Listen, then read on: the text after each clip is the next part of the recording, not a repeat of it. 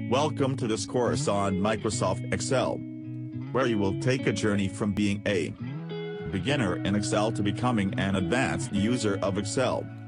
While doing our jobs, we realized that most of the businesses are heavily using Microsoft Excel for data analysis and data visualization. It has become a must-have skill for almost every managerial job nowadays.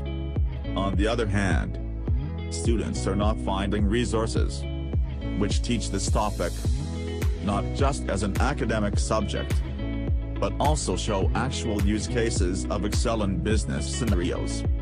We have designed this course for such students who are beginning their data journey, and those data manager who want to increase their office productivity.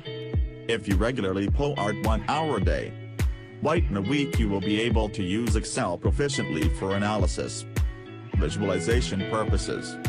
We start this course with the very basics of Excel. Then we cover all the essential formulas that you must know. Next we increase the level and start learning about tools such as sorting and filtering data, formatting data and pivot tables. After that, we spend some time learning about all the popular charts and graphs in Excel. In the last part of the course, we take this to the final level. When we discuss really advanced topics, such as macros, ART, goal-seek, etc.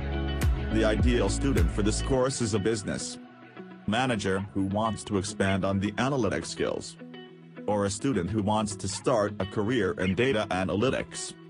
There are no prerequisites for this course.